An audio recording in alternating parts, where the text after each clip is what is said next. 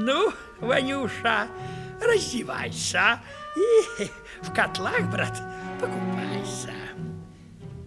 Что же ты, Ванюша, стал? Исполняй-ка, брат, что должно. Эх, не можно ли, ваша милость, приказать горбунка ко мне послать? Я в последний с ним простился. Царь, подумав, согласился.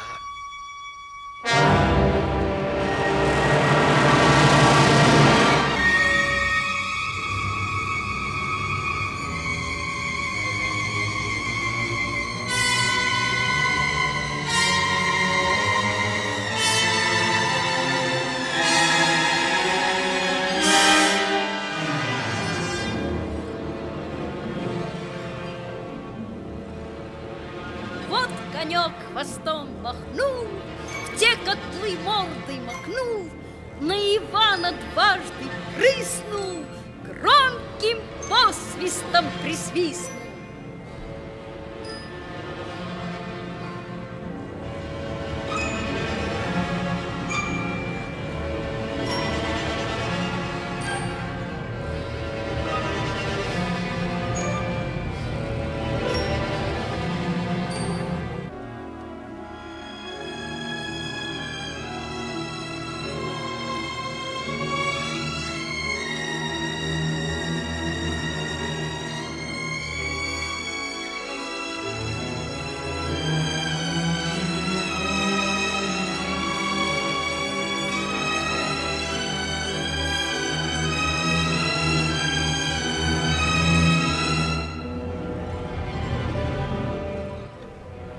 Конька Иван взглянул.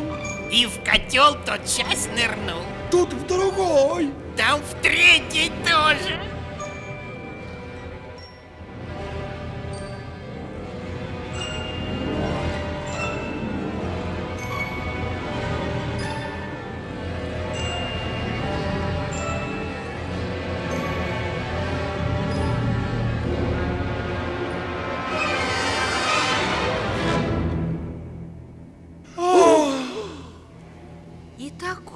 Стал пригожий, что ни в сказке не сказать, ни пером не написать.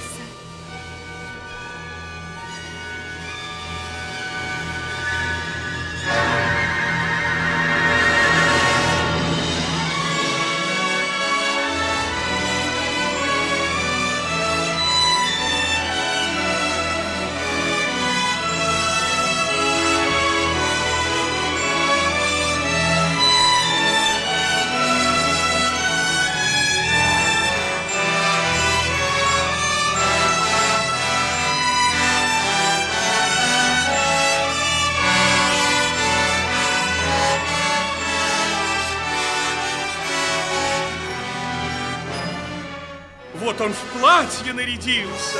Царь-девица поклонился. Осмотрелся, подбодрясь, с важным видом, будто князь. Эх, диво! Эх, диво! Все кричали, мы и слыхом не слыхали, чтобы нельзя похорошеть. Царь велел себя раздеть, два раза перекрестился,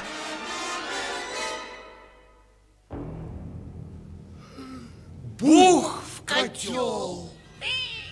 И там сварился.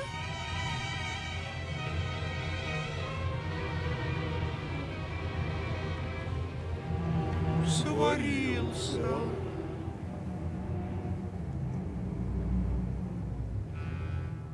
Царь велел вам долго жить. Я хочу царицей быть. Люба ль я вам? Отвечайте. Если Люба, то признайте владетелем всего и супруга моего.